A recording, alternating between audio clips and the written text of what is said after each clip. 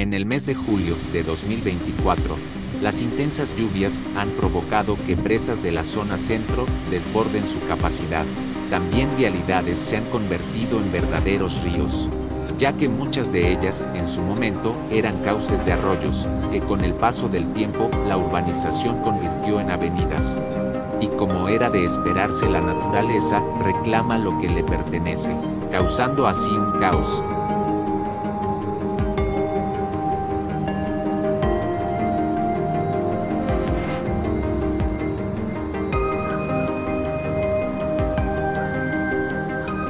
estas imágenes podemos ver el ya tan conocido Boulevard Río Santiago totalmente anegado en agua, haciendo honor a su nombre. Estas imágenes sorprenden ya que, pocas veces, se ha logrado captar con tales niveles en su caudal.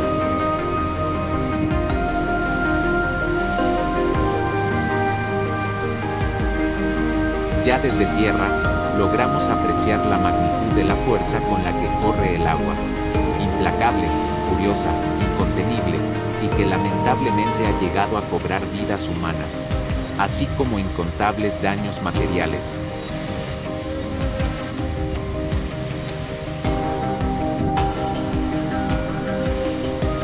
Por otro lado, la abundancia de agua también nos llena de alegría y nos regala imágenes sorprendentes que por primera vez, gracias a la tecnología, podemos compartir desde una perspectiva diferente y difundir de manera más global en las redes sociales, llegando a una gran cantidad de personas que con tan solo un toque ya pueden disfrutar de estas impresionantes imágenes, como esta en la que nos tocó ver la presa El Potosino totalmente llena, desfogando miles de litros del vital líquido, que seguramente irán a parar a la presa de San José.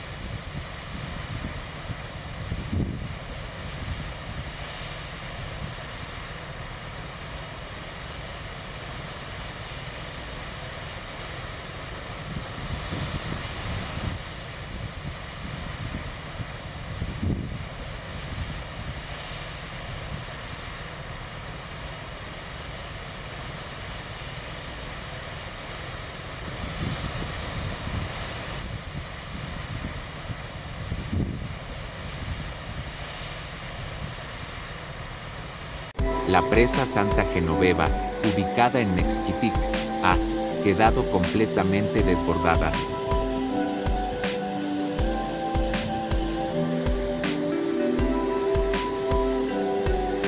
Y aquí por fin vemos en su máximo esplendor la presa de San José, casi a punto de reventar.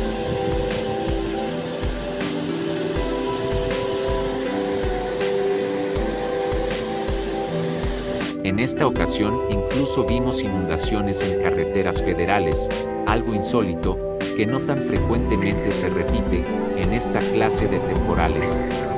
Tal es el caso del tramo de carretera a Río Verde, a la altura de las Rusias, Santa Catarina donde descomunalmente, bajo gran afluente de la Sierra de Álvarez,